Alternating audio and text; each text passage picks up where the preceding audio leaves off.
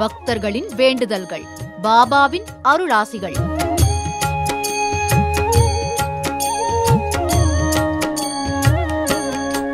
சேலம் முல்லை நகர் ஸ்ரீ ஷீரடி சாய்பாபா தியான மண்டபம் தரிசனம். ஆலயங்கள் அற்புதங்கள். இன்று காலை ஆறு மணிக்கு. மறு ஒளிபரப்பு மாலை ஆறு மணிக்கு. நமது புதியுகத்தில்